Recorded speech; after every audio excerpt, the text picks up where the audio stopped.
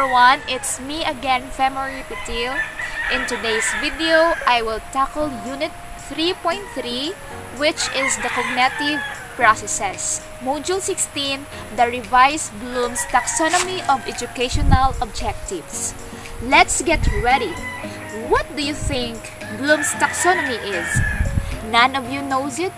Then okay, let's find out.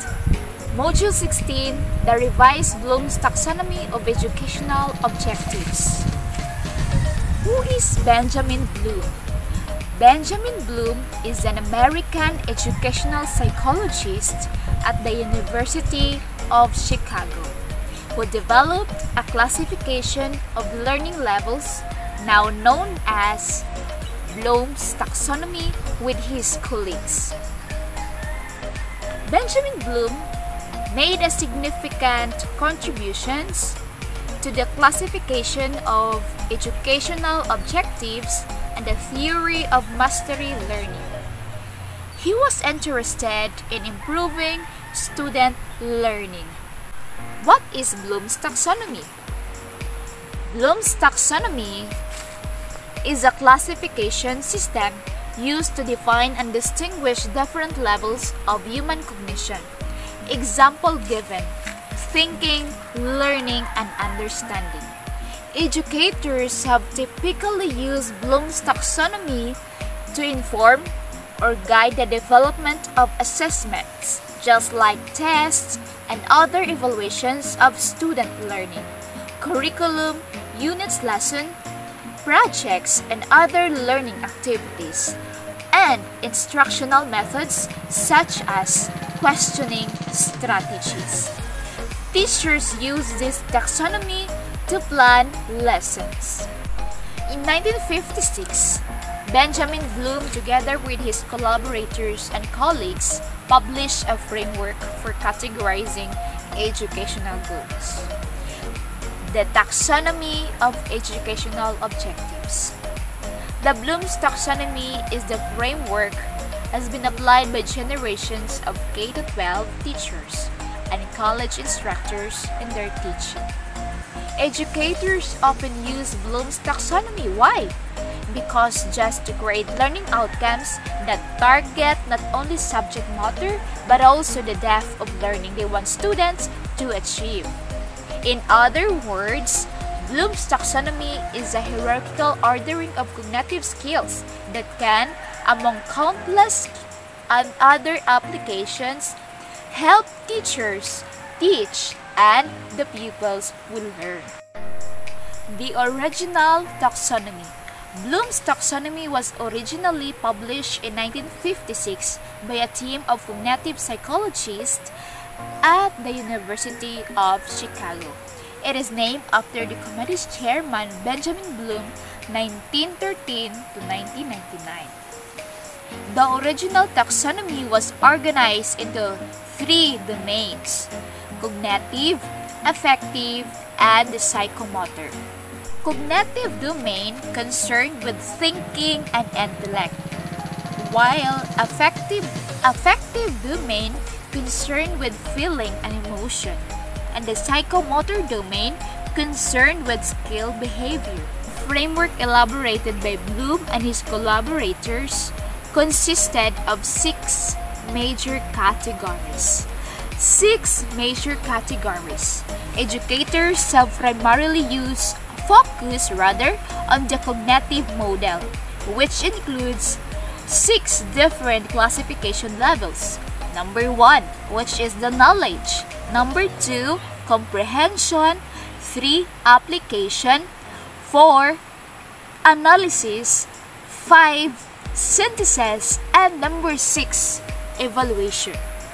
Just like what I said earlier, the Bloom's taxonomy was published in 1956 together with Benjamin's colleagues, and it is named after Benjamin Bloom. It is organized into three domains, which is the cognitive, affective, and the psychomotor. The cognitive domain aims to develop the mental skills. Example, a child recites an English alphabet. So that is a cognitive domain. affective domain involves our feelings, emotions, and attitudes. Examples are to comply with, to follow, to command, to volunteer, to spend leisure time in, to acclaim. While the psychomotor domain includes the physical movement and the motor skills. Did you know that the first three elements, knowledge, comprehension, and application, represent lower levels of cognition and learning, while analysis, synthesis, and evaluation are considered higher order skills. And now let's talk about the original taxonomy on 1956, the six major categories of the original taxonomy. Number one, knowledge. It involves the recall of specifics and universals, the recall of methods and processes, or the recall of a pattern, structure, or setting. For example, name three common types of meat. In simple words, knowledge is the ability of learners to recall data and information. Number 2. Comprehension refers to a type of understanding or apprehension such that the individual knows what is being communicated and can make use of the material or idea being communicated without necessarily relating to it other material or seeing its fullest implications rather. For example, summarize the defining characteristics of steak, pork, and chicken. In other words, comprehension assesses the ability of the learner to understand the meaning of what is known. Number 3. Application refers to the use of abstractions in particular and concrete. For example, does eating meat help improve longevity? Application refers to the ability to use learner material, learned material rather, in new and concrete situations.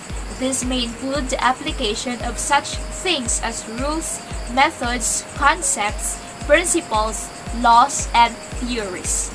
Learning outcomes in this area require a higher level of understanding than those under comprehension. Number 4. Analysis represents the breakdown of communication into its constituent elements or parts such that the relative hierarchy of ideas is made clear and or the relations between ideas expressed are made ex explicit. For example, compare and contrast the different types of meat. Analysis means to break down materials into its component parts. Number 5. Synthesis involves the putting together of elements and parts so as to form a whole. Example, convert an unhealthy recipe for meat into a healthier recipe by replacing certain ingredients. Argue for the health benefits of using the ingredients you can choose as opposed to the original ones. Synthesis, in other words, refers to combining and putting together of ideas to form something new. Number 6. Evaluation Judgments about the value of material and methods for given purposes. For example, which kinds of meat are best for making a healthy meal and why? In simple words, evaluation is making a judgment about the value of ideas for you to be able to understand the six major categories of the cognitive domain, here are some example activities. Number one, for knowledge, to know or to recall. The example activities are question and answer sessions, workbooks, and worksheets. Number two, comprehension, explaining and understanding. Example activities are restate the reason, reasons for weather changes. Summarize the story. Number 3. Application or using ideas.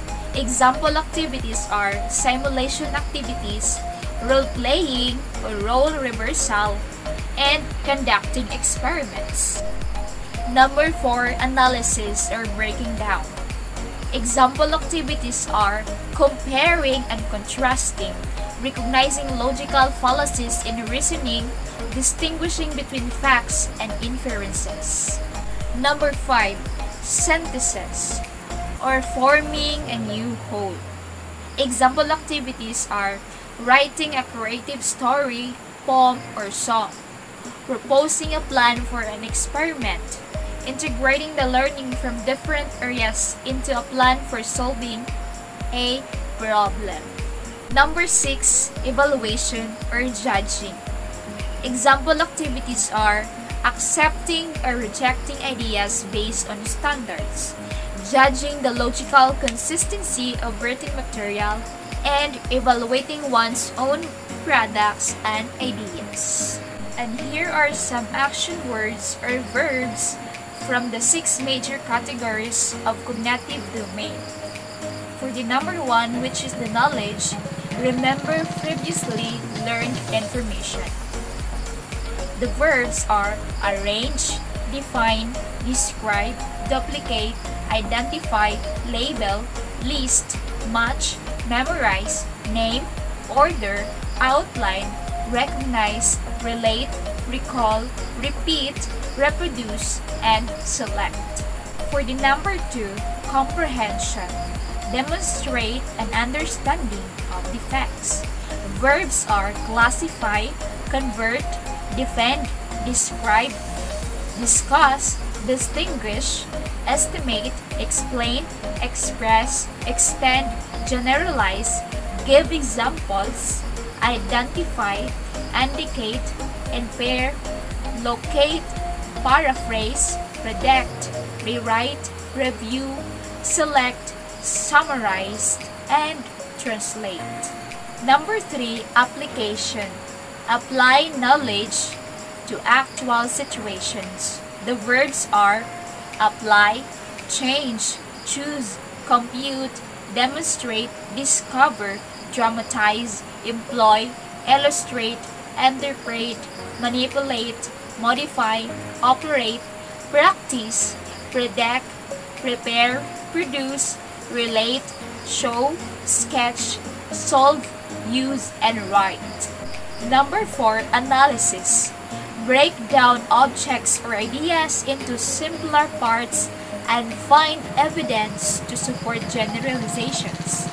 The verbs are analyze, appraise, break down, calculate, categorize, compare, contrast, criticize, diagram, differentiate, discriminate, distinguish, examine, experiment, identify, illustrate, infer, model, point out, questions, relate, select, separate, subdivide, and test. Number 5. Synthesis. Compile component ideas into a new whole or propose alternative solutions. The verbs are arrange, assemble, compose, construct, create, design, develop, categorize, collect, combine, comply, devise, explain, formulate, generate, plan, prepare, rearrange, relate, reorganize, revise, rewrite, set up, summarize, synthesize, tell, and write. For the number 6, evaluation. Make and defend judgment based on internal evidence or external criteria. The verbs are appraise, argue, assess, attach, choose, compare, conclude, contrast, defend, describe, discriminate, estimate, evaluate, explain, judge, justify, interpret, relate, rate, select, summarize, support, and value.